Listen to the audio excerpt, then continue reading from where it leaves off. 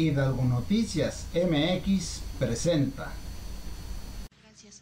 Buenos días, presidente. Ayer el Senado aprobó la revocación de mandato para el 2022. Saber si usted está de acuerdo con esto. Se pusieron algunas condicionantes, entre ellas que no sea usted directamente quien lo solicita, sino el 3% de la población. Saber si usted está eh, conforme con, con, esta decisión y, qué opina de que finalmente se dio ya esta aprobación. Gracias. Bueno, eh, la verdad es que la oposición, en este caso, bueno, no voy a mencionar los partidos, pero bueno, ahí se los dejo de tarea no quieren la democracia participativa.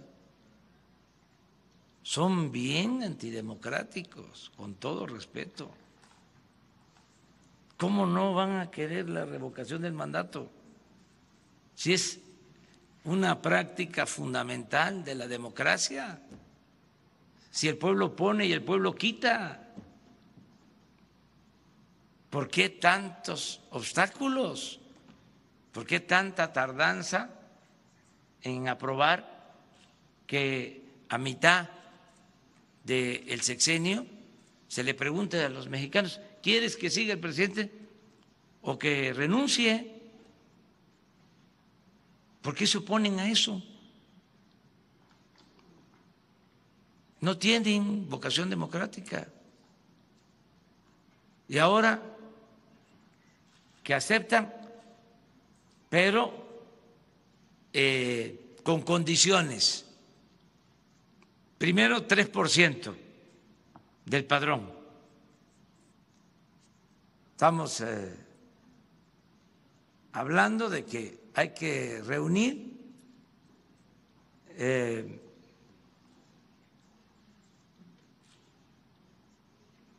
si el padrón es de 85 mil ciudadanos, el 3, perdón, 85 millones de mexicanos,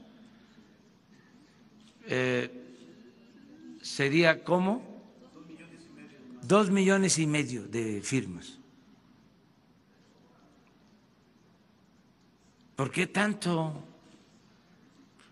Con un millón, que la pongan más sencilla. ¿Cuántos este, se requieren para hacer un partido político?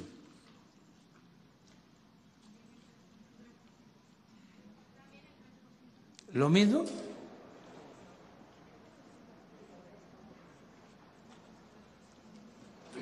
Creo que no. ¿Sí? ¿Sí? Entonces, que consideren eso, que faciliten las cosas.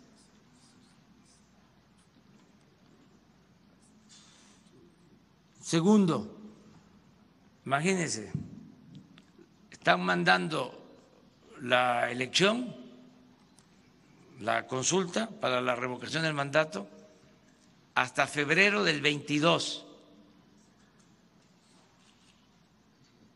Es mucho, pero no porque sea mi caso, sino porque aguantar tanto a un mal gobernante. Si ya en dos años se sabe, hasta es mucho, hasta menos.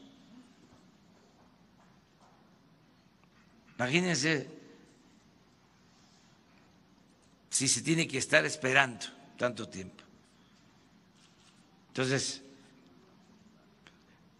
mejor el 20 de noviembre del 21. Este, pero aún con eso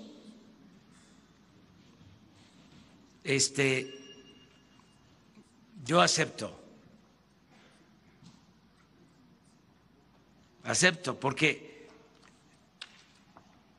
lo importante es que quede establecido en la Constitución el procedimiento. Es que si no, solo eh, es un enunciado más el que el pueblo tiene en todo momento el derecho de cambiar la forma de su gobierno. Es un asunto de principios, sin aplicación práctica.